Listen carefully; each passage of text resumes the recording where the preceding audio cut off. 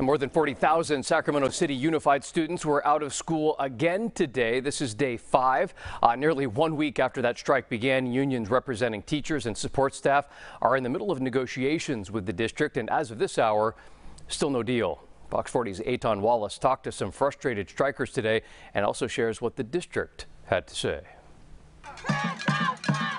With pickets in hand and music to get the feet dancing.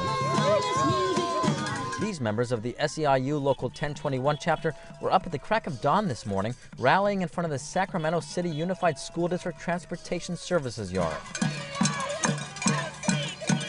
Among the demonstrators, Sac City Unified support staff, nutritional service workers, instructional aides, and school bus drivers like Sunny Esilochoman. We feel totally disrespected. Disrespected, he says, because after more than four years as a bus driver with the district, he still constantly worries about how he's going to pay the bills. My salary a month is $2,500 a month, so I have to get other job because I cannot survive. SEIU leaders representing him and his colleagues are demanding the district provide improved safety conditions and cost of living increases. We need them to pay us more. I mean, I'm not joking about that. We need, because we have family, we have kids. A few blocks from the SEIU rally, we just want to educate. Sac City teachers and staff members held a rally at Hiram Johnson High School, a school where Fernando Rodriguez teaches math. We need more staff at our schools. That is one of the primary demands the Sacramento City Teachers Association is bringing to the table during meetings with district leaders. In our situation at Hiram Johnson, we've gone days and days where we have the cafeteria, we have the auditorium, we have the gymnasium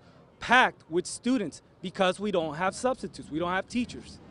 We can't accept that as a community.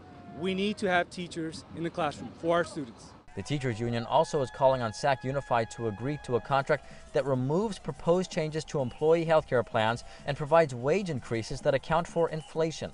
From Hiram Johnson High School, the teachers marched back to the bus depot to meet their SEIU partners, and their message, I say, is to express solidarity with them.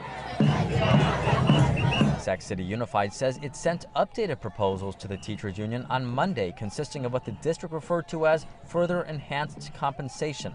That, the district says, is part of a proposed increase in one-time employee stipends. The district also saying it offered stipends to help offset new health care costs. SCTA President David Fisher spoke with us ahead of negotiations this afternoon. Cautiously optimistic. I mean, we had a decent um, conversation last night. Finally, uh, we just just on sharing information, and there are no predictions because this could all just fall to pieces this afternoon. But always, as teachers, we're optimistic, and so we're hoping the district comes ready to um, get this thing done this afternoon.